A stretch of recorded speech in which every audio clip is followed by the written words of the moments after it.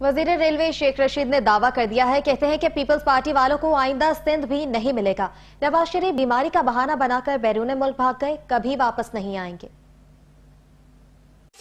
तकरीबन एक साल हो गया नवाज़ शरीफ साहब को बाहर गए हुए ना कोई ऑपरेशन हुआ है, ना अस्पताल गए सारी कौम को, सारी दुनिया को, सारे डॉक्टरों को बेवकूफ़ बना के वो लंदन जाके बैठ गए मौलाना फजल रहमान साहब काबिल एहतराम आप जो मजहबी कार्ड खेलने जा रहे हैं। इस मुल्क की जमहूरियत फौज है, इस मुल्क की मीशत फौज है, इस मुल्क का इस्तेकाम फौज है। पीपल्स पार्टी इस्तीफे नहीं देगी, उसका दिमाग खराब है, पंजाब में उसकी कितनी सीटें हैं? सिंध से इस्तीफे दे के क्या करेगी?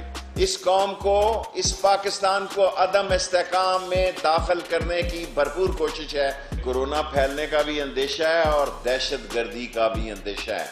मरियम साहबा भी नाहल हैं और नवाज़ शरीफ साहब भी नाहल हैं। तो पीछे रह कौन गया है? अगर कोई सूरत हाल कभी बनती है वो लंबे दाव पे है लंबा खेल रहा है इतनी लंबी के गे, गेम नहीं होगी। जो कुछ वाना में और जो कुछ उस इलाकों में हो रहा है और वो दहशतगर्द तंजीमें पाकिस्तान में खाना जंगी कराने के लिए कुछ भी कर सकती हैं। जलसे जुलूस ज़रूर करें। जलसा जुलूस उनका हक है। लेकिन अगर उन्होंने किसी जगह शर पसंदी की अगर उन्होंने जलाओ घेराव किया तो कानून हरकत में आएगा